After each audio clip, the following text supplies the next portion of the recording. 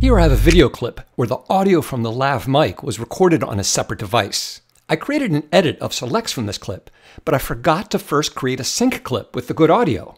It's Mark from Ripple Training. No problem. First, I'll turn these selects into favorites by moving the playhead over each clip and pressing Shift F to reveal in browser and F to favorite that range. I'll repeat that on these other two selects. I'll also make my good audio a favorite. Now I'll filter by favorites, select all the clips, and create a synchronized clip. I'll remove my original selects from the timeline and add the synced clip instead. Now I just need to locate where the video starts and stops and trim the clip to those sections.